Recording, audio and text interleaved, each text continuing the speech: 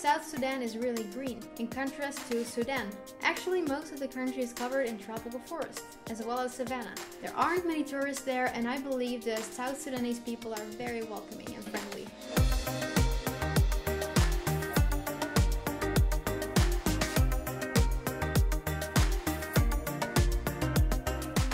I make travel and geography related videos and currently I'm traveling. I'm on a three week travel and I will tell you more about it later. I will keep posting, zooming in on videos in the meantime, but I will not be as active when it comes to commenting and responding to your messages. But in one week I'll be back. Today we are zooming in on South Sudan.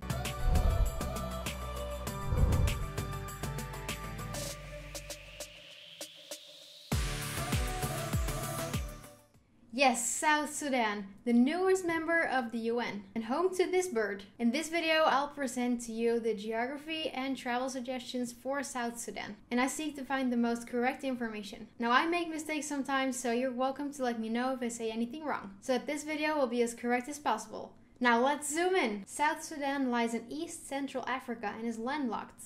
It gained independence from Sudan in 2011, making it the newest member of the UN and the most recent sovereign state with widespread recognition. To the east, it borders Ethiopia. To the south lie Kenya, Uganda, and the DRC. To the west, it borders Central African Republic, and to the north, it borders Sudan. And if we zoom in here on the map, we can see there are some border disputes. Here over the Kafia Kingi area, a mineral rich region, here lies also the Radom National Park. Another dispute is over the Abyei area. We just covered this not too long ago in the Sudan episode, but it comes down to that the area has a special administrative status, and Sudan and South Sudan agree to share this area, so it belongs to both countries. South Sudan also has a border dispute with Kenya over the Ilemi Triangle. Both countries claim it. The northernmost point of the country lies here, in the White Nile bordering Sudan. The easternmost point lies here, touching Ethiopia. The southernmost point borders Uganda, and the westernmost point lies in this nature reserve bordering Central African Republic. South Sudan is a pretty big country, coming on number 41 in area, just bigger than France and just smaller than Afghanistan.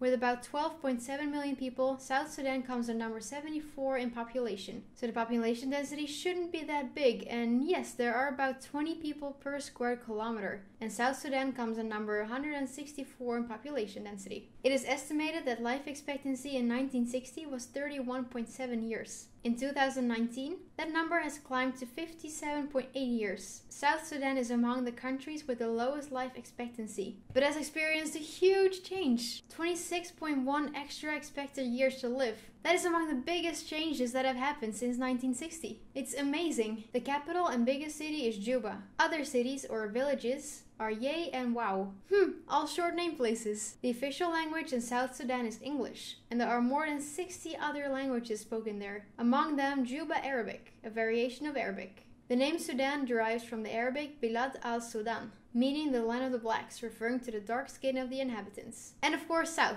to describe its location. Now we'll zoom in on the capital, Juba. Let's see, Juba lies here in the south, so let's get a little closer. Here lies Juba International Airport, and here we have the White Nile. Let's see what happens here. We have the US Embassy, Embassy of India, South Sudan Parliament. Here we have a park, a coffee shop, Many places to eat here too. Ocean Blue Restaurant, Embassy of the Republic of Turkey, Home and Away, United Nations Children's Fund, Logali House, Juba Landmark. Wonder what that is. It's an accommodation. Okay, let's see if we can find any street view here. Hmm, there's not a lot, but there is some here along this road here. Happy Streets. Let's let's pay a visit to Happy Street and see what happens here. Okay, we are on a car and here is the streets with some trees along the way. We have cars. Huh, a lot of these cars are big cars. Some small ones there. A motorcycle. It's a big poster. Here are some more houses. Another big car. Tires on the roof. Yeah, so this is Happy Streets. Doesn't look too crowded here. Yeah, there is a little sidewalk to walk on here. Okay, let's see what else happens here. Hmm, I'm gonna try going there. Okay, we have another street that looks like a water tank. Have some more houses. I can't really see what that is. It looks like a flame. More motorcycles. Here we have a wall. I wonder what happens behind this wall. Yeah, we have two guys here. Looks like they're jogging. What is this? I really enjoy getting an impression of South Sudan by going into Street View. I feel like I get to know the country a little bit better. Oh look, there's a boat rental, so you can drive on the White Nile here. And there's a soccer field, for if you're feeling active. Landscapes! And we are of course starting with the topography map.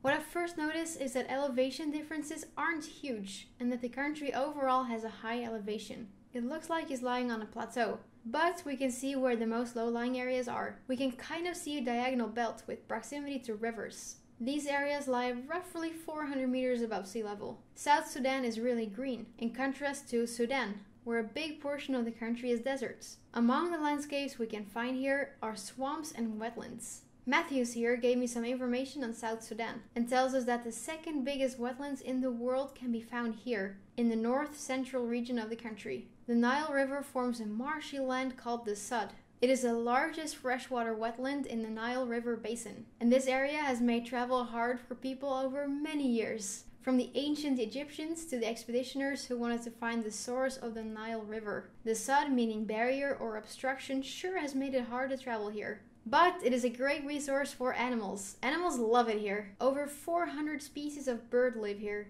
including the great white pelican, as well as many types of mammals, such as antelopes, hippos, and the African wild dog. Okay, let's move on. The higher elevations of South Sudan are to be found in the south and west, with elevations from roughly 500 meters and up. A typical landscape here is tropical forests. Actually, most of the country is covered in tropical forests, as well as savanna. Other animals that live in South Sudan are elephants, lions, giraffes, zebras, buffalo, warthogs, chimpanzees, baboons, crocodiles, and ostriches. So much life here. I'm impressed, South Sudan. The highest elevations in the country lie in the very southeast, at the Imatong Mountains. The tallest point here and the tallest point in the whole country is Mount Kinyeti at 3,187 meters or 10,456 feet. And look at the view here. I don't know if lions can climb all the way on top here, but if they could, they sure would have a good view over their lion kingdom. Yeah, I love the Lion King. Rivers! I like to use the topography map to show the rivers too, because it gives a good overview. And you can see clearly which is the biggest river, and I've already mentioned it the Nile River, more specifically the White Nile. The Sudan video explains more about the Nile, the White Nile, and the Blue Nile River, so give it a watch to understand more. Also, the Uganda video explains a possible source of the Nile River. If you're interested, I put a link down below so it's easy to find. The White Nile enters South Sudan from Uganda at this point, flows north and cuts the country in half, flows through the wetlands, the Sud, where a lot of the Nile's river is taken up by the vegetation and providing water to wildlife and livestock. And then it doesn't really want to enter Sudan just yet. It takes a turn here and enters Sudan at the northernmost point of South Sudan, having traversed tropical rainforests, wetlands, and savanna. Another river in South Sudan is the Bahr el Ghazal, meaning Sea of Gazelles from Arabic. It is a main western tributary of the Nile and connects other rivers coming from the western part of the country, from the highlands close to Central African Republic. The Bahr el Ghazal streams through the Sud wetlands, through this lake, Lake No, and comes together with the White Nile at this point. Lakes. Yep, I just mentioned it, Lake No. Lake No is special. You see, the White Nile comes from Lake Victoria, then the next major lake is Lake Albert in Uganda, and Lake No is the next major lake that the Nile is connected to. Not too far away from Lake No lies Lake Ambadi, also lying in the Sud wetlands. You know, I like animals, so I just want to tell you that this lake is home to the shoebill. It is a large stork-like bird with a large beak. Looking like a shoe, therefore shoe bill. Let's do random review. Okay, where do I want to go in South Sudan? Maybe we can see the wetlands lying here, or maybe the mountains. Let's check it out. Okay, I can only see two places we can choose. um, so let's just try this place then. Yep, and we aren't outside, we are inside someplace. We have a table with a chair. Here we have some something to drink. Ooh, what is that? Looks like food. I just don't know what kind of food it is. Yeah, this looks like a, a restaurant or a cafeteria. And a Christmas tree. Well, that's nice. They celebrate Christmas here and they use Christmas trees here too. So maybe this picture is from Christmas time. What else do we have here? Employee self-service. Yeah, so this is probably a cafeteria. With some flags. Umoja goes live. Television screen. And here's the menu. Cool. Now I think I saw some more street view happening here in the south. Here's the place. Let's see what happens there. And we are again inside bedroom. We are inside someone's bedroom, guys.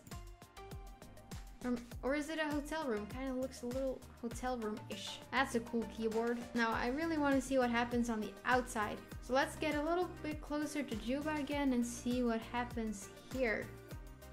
Yep, no street view here either outside. We're staying inside. That's cool. That's okay. Because this is a gym. Yeah, for people who like to do some weightlifting and some strength exercises. So yeah, if you're once in South Sudan and you really need to work out, you can come to this place and ask if you can work out here too. So yeah, this is a gym in South Sudan. Opposite side time. I put my ruler in the capital city Juba, move it for 20,000 kilometers around the globe, and yep, we are in the middle of the Pacific Ocean. And it looks like the closest land is this little island, Malden Island part of Kiribati. And now it's time for the travel suggestions. Now, South Sudan is not the safest place to visit. There are risks in the country, and the US government advises against travel there. But that does not mean you cannot travel there. In fact, I think traveling to South Sudan would be an amazing experience. There aren't many tourists there, and I believe the South Sudanese people are very welcoming and friendly. So let's start our South Sudan adventure in capital city Juba. Get your first impressions of the country by walking the streets and visit the Juba markets. And what I like to buy when I'm out traveling is buying clothes. Imagine finding a nice t-shirt or pants at the Juba markets, then returning home and people are asking, oh, where'd you get that t-shirt? And you can just say, oh, I got it in South Sudan. That's the kind of souvenir I prefer. Now, after shopping, you might feel hungry. Relatively close to the market lie multiple restaurants, for instance, Hamza, with a nice garden. Now we're ready to see some nature, and from the restaurant there is a 2 kilometer walk to the Afex camp.